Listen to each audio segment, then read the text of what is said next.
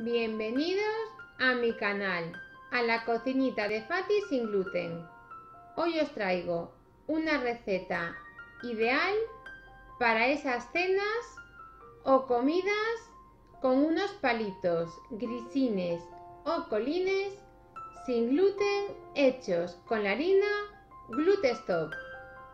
Los ingredientes que he empleado para elaborar esta deliciosa receta son los siguientes. Vamos a necesitar 30 gramos de almidón de mandioca, 100 mililitros de agua natural fría, 50 gramos de harina de trigo sarraceno, 150 gramos de harina panificable de la casa Glutestop, 2 gramos de goma santana, 5 gramos de polvos de hornear, 12 gramos de aceite de oliva 0,4, un huevo, sal al gusto y pimienta al gusto. Y luego para decorarlos vamos a necesitar aproximadamente unos 50 gramos de queso rallado especial gratinado, unos 2 gramos de orégano, otros 2 gramos de eneldo, otros 2 gramos de tomillo, 2 gramos de albahaca, 2 gramos de romero, un huevo batido para pintar los palitos y luego las hierbas aromáticas las pondréis a vuestro gusto. Yo os he dado esta idea, pero podéis colocar y añadir y combinarlas a vuestra elección. Como siempre, os dejo a continuación los ingredientes y en la casilla de descripción de debajo del vídeo. Comencemos con la receta. En primer lugar, vamos a preparar la masa de los palitos. Para ello, en un bol voy a añadir la harina panificable de la casa Glutestop,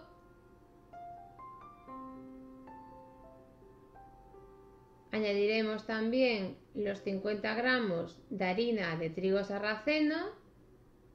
Mezclaremos estas dos harinas.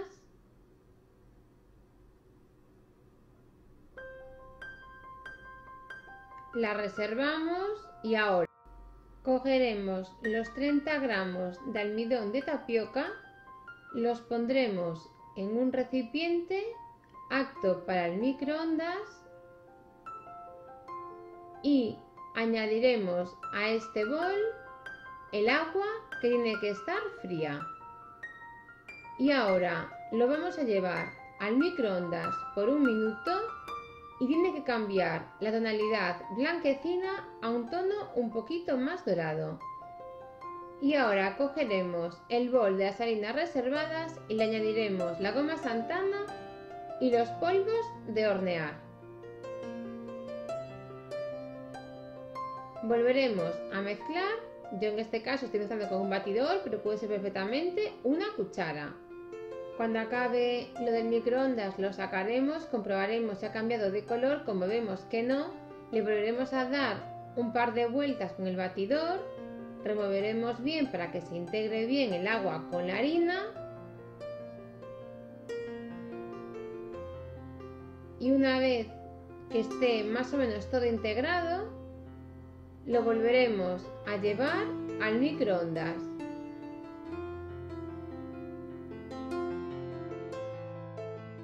Lo programamos otro minuto y mientras vamos a preparar la bandeja de horno. Pondremos papel de horno sobre la bandeja y ahora retiramos lo del microondas y comprobamos cómo está. Esto parece que va cogiendo ya tonalidad. Removeremos bien. Comprobaremos que ya ha cambiado de color. Como veis ya no es tan blanco, ya es un tono un poquito más dorado. Si queda así un poquito seco y vemos que el tono no es totalmente dorado, le podemos añadir un poquito más de agua y lo volvemos a meter. Sacaremos y ahora sí que ya cambió ese tono blanquecino que tenía ya es mucho más dorado ya parece como un chicle. Realmente esto le va a dar elasticidad a nuestra masa. Se lo vamos a incorporar a las harinas. Y ahora, una vez que tenemos esto incorporado, como veis es una mezcla muy pegajosa. En comparación con la harina se ve el tono dorado que os decía al principio. Y ahora cogeremos las varillas y nos pondremos a mezclar. Amasaremos bien la harina con la mezcla, pondremos el aceite, integraremos bien todos los ingredientes. No os preocupéis si os sube por las palas de la amasadora, es normal. Y ahora vamos a poner uno de los dos huevos que vamos a necesitar. Para la masa solamente nos va a hacer falta un solo huevo. El otro huevo os recuerdo que es para pintar los palitos de pan. Y una vez esté todo más o menos integrado, vamos a amasar con las manos. Integraremos el resto de la harina que no se ha integrado con las palas de amasar. Integraremos bien y cuando tengamos todo esto más o menos integrado podemos o trabajar sobre una superficie como la que estoy utilizando yo que es una base de silicona o poner un poquito de harina y trabajar sobre una encimera.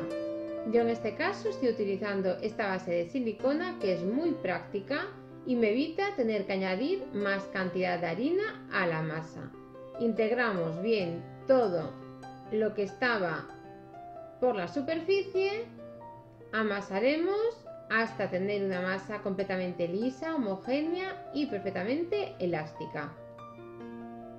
Y ahora toca estirar esta masa. Me voy a ayudar de un rodillo de acero que es muy práctico me gusta mucho más que los rodillos de madera. Además, para los intolerantes como nosotros, es mucho más práctico y muchísimo más higiénico a la hora de tener que lavar, guardar y almacenar con otros accesorios. Una vez tenemos la masa completamente estirada, Cogeremos un tenedor, pincharemos perfectamente para que esta masa no suba en exceso cuando la llevemos a hornear. Y una vez tenemos todo pinchado perfectamente, cortaremos la masa. Para ello me voy a ayudar de un cortador de pizzas y haremos unos cortes longitudinales a lo largo de la masa. Y mientras vamos poniendo estos trozos que estamos cortando sobre el papel que hemos puesto en la bandeja de horno. No hace falta enmantecar la bandeja porque ya hemos puesto el papel de hornear. Haremos así con toda la masa y una vez tengamos todos los palitos en la bandeja,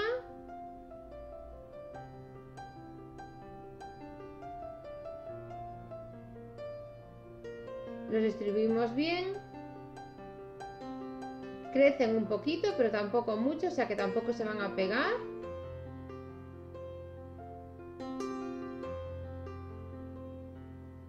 Aprovechamos bien todos los espacios quedaría algo así.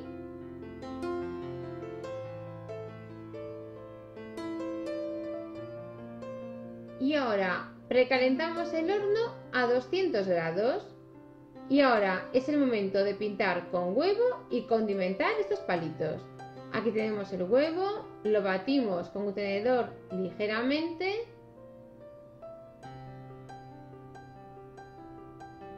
Y ahora con la ayuda de un pincel de silicona procederemos a pintar todos los palitos. Pintamos generosamente, que no se nos pegue como me acaba de pasar a mí aquí con este. Lo separamos y seguiremos pintando. Esto le dará un color doradito a la masa.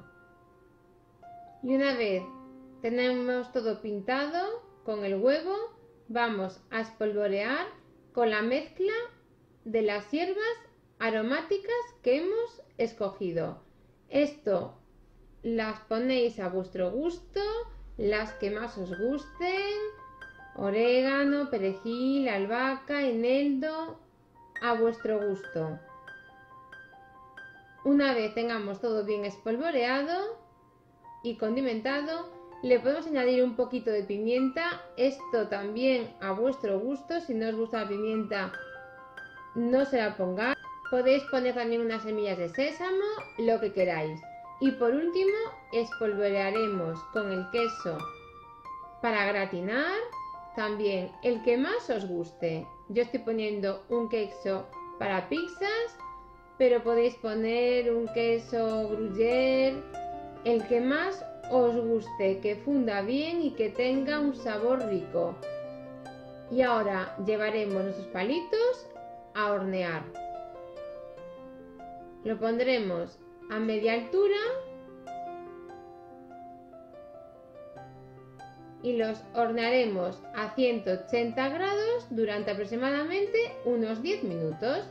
Pasado este tiempo, comprobaremos que se han horneado perfectamente, cogeremos uno, y se despegan perfectamente, quiere decir que ya estarían.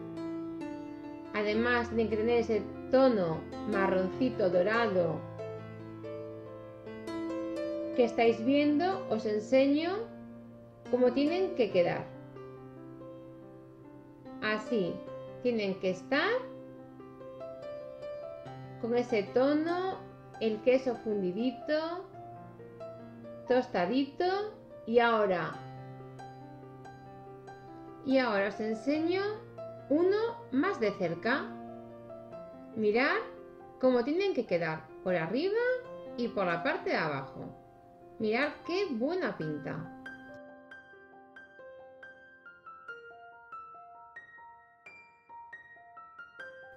¿Los probamos?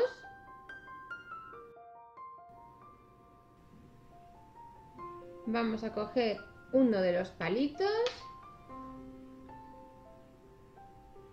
mirar qué tono tiene y ahora por la zona de abajo mirar qué tostadito.